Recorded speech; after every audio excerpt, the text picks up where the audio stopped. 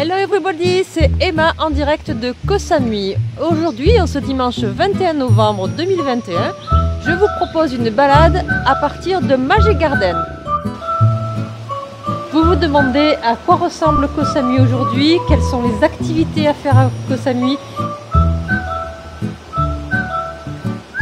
C'est parti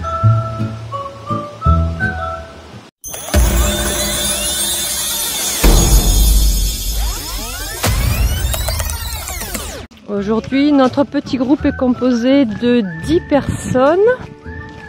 Alors, nous avons deux Américains, une Australienne, un Allemand, un Norvégien, une Turque, un Britannique écossais et deux Thaïs et moi-même qui suis française. Ah, c'est une nouvelle sculpture qui a été peinte ici, qui représente un durian et une mangoustine. Et ça prouve que ce sont vraiment des fruits omniprésents sur euh, l'île. D'ailleurs, si on regarde simplement juste autour de cette sculpture, juste en face de nous, on a justement un mangoustanier et à sa droite des des durians. Alors là, on est devant un cocotier sur lequel s'est agrippé un fruit du dragon. C'est vraiment impressionnant.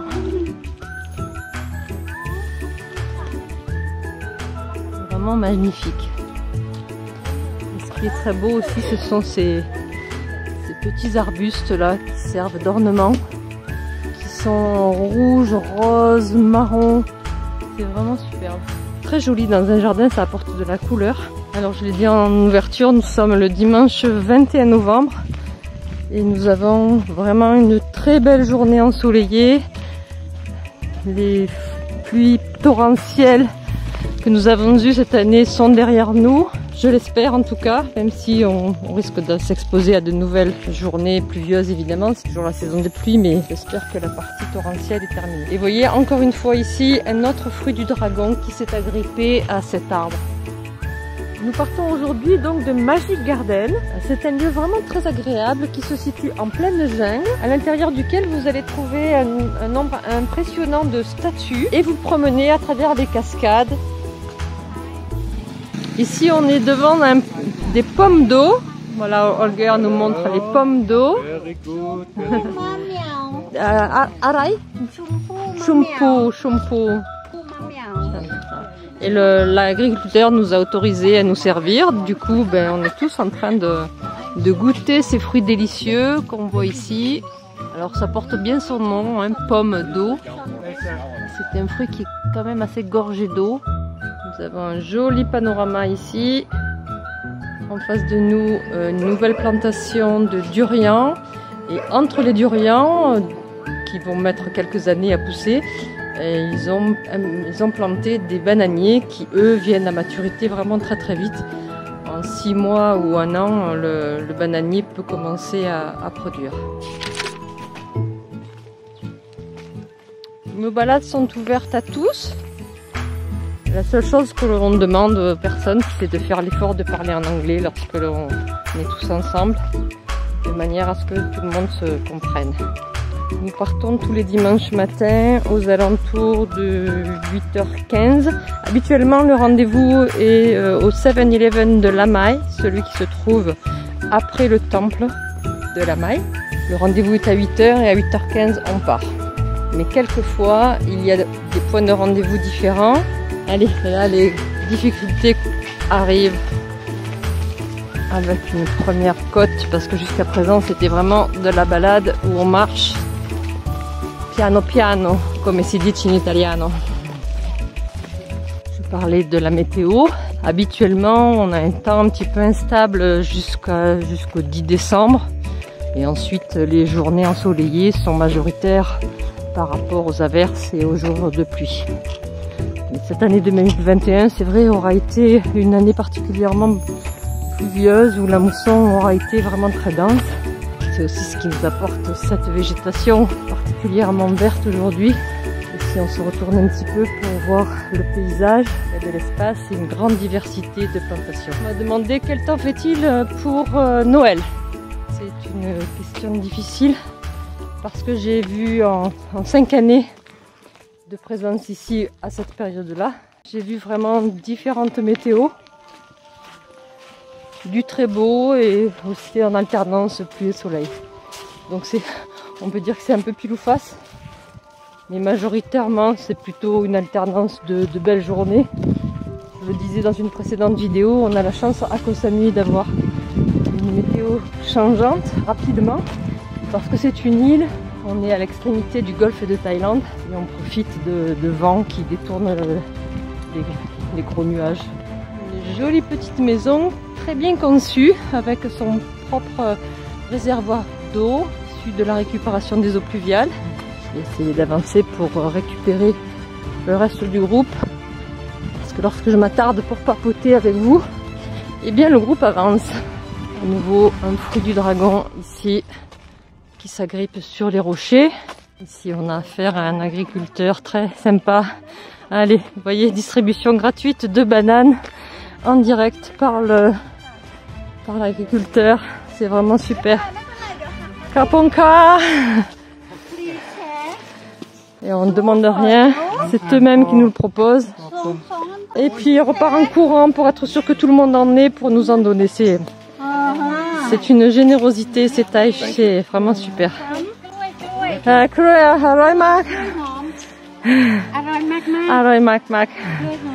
elle dit que ce sont des bananes, elle me donne le nom de cette variété. Et elle dit qu'elle les aime beaucoup. C'est un petit salat. Donc je rappelle, un salat, c'est une terrasse couverte qui sert à s'abriter, qui peut servir euh, de salle de repos, de salle à manger Dans les temples, c'est aussi une salle de prière.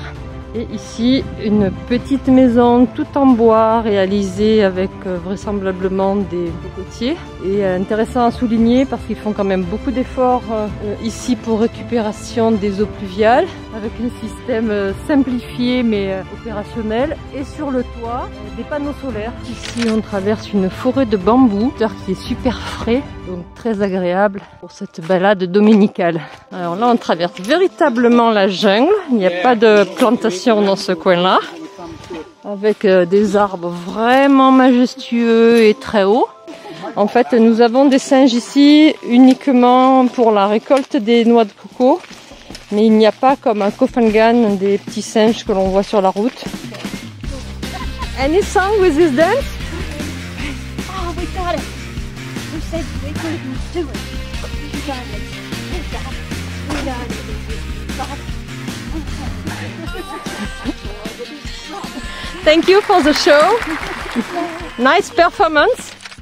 Hey Kim, can, can you show us something about your belly, belly dance? Yeah, belly dance. No. Show us a belly dance move. Yes, Kim. please, come on. Oh, gosh, no. Come on, Kim, show a little belly dance. Uh, you. yeah. Thank you for the show. So, ladies, belly dancing is by far the funnest thing I have done yeah, but in a Kim, while. you have to answer one question to me. Yes. How can you belly dance if you haven't got a belly? But that's why.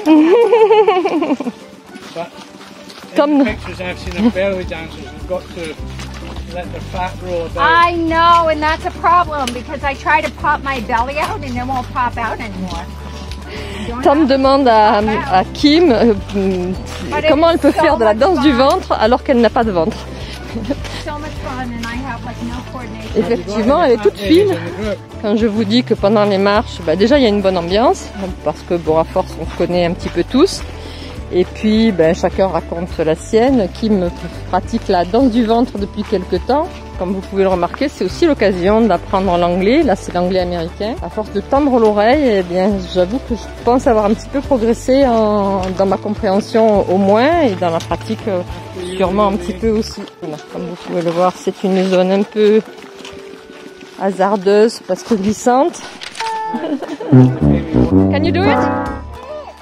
Voilà, Kim a sa façon à elle de descendre les, les zones qui sont euh, euh, glissante.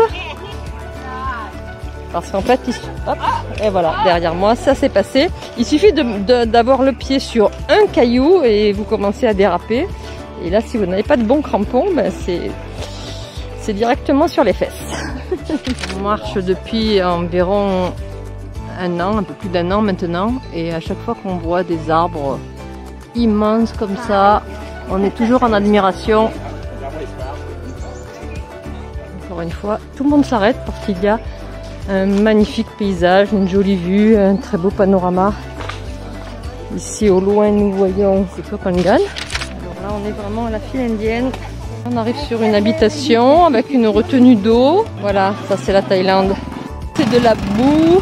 il n'a pas besoin de motocross pour parcourir les chemins de Koh Samui. Vraiment très jolie randonnée encore aujourd'hui. Ça fait plaisir de prendre l'air, de voir le soleil, de parcourir la nature sauvage. J'ai beaucoup d'amis qui me disent on viendra jamais avec toi parce que c'est trop la jungle. N'est-ce pas Laurie? Alors là on va arriver à la cascade Mountain Waterfall.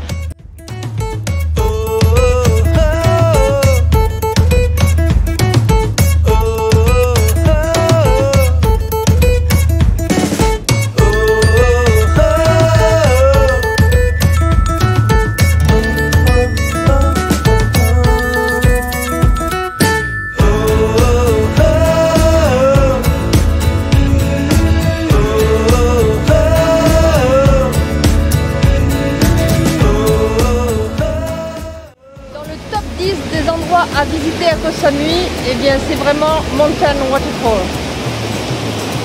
Pratiquement toute l'année, on a de l'eau dans cette partie. Alors l'accès n'est pas évident, mais pour moi c'est vraiment, vraiment dans le top 10.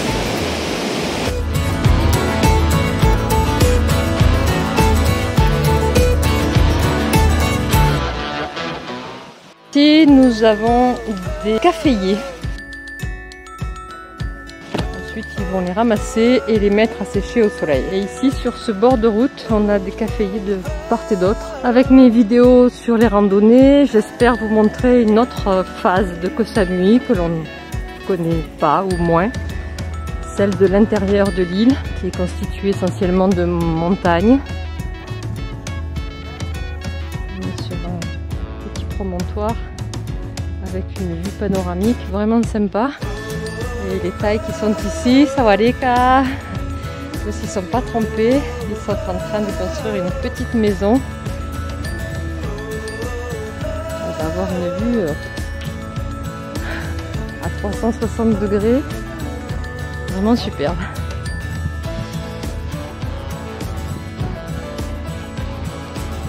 Quelques plants d'ananas ici.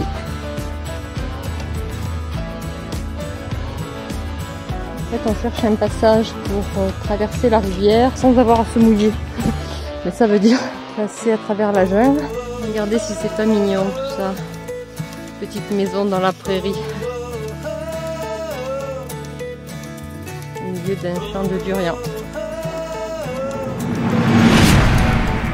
J'espère que vous avez apprécié cette balade pour découvrir les hauteurs de Koh Samui. Si c'est le cas, je vous propose de l'écrire dans les commentaires. Vous savez que les commentaires et les likes permettent un meilleur référencement de nos vidéos. Donc si vous avez aimé cette vidéo, n'oubliez pas le like. Vous pouvez actionner les notifications pour savoir lorsque je publie. Et si ce n'est pas encore le cas, je vous propose de vous abonner à ma chaîne. Merci pour vos pouces bleus et à bientôt pour de nouvelles visites à Koh Samui. Bye bye